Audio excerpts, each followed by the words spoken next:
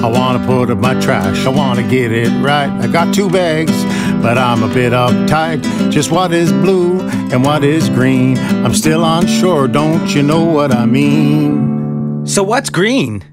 Well, it's gotta be food or yard waste, never put in glass. That's not the place. Remember, green's just organics and food, removing the packaging, so don't be rude. That's it?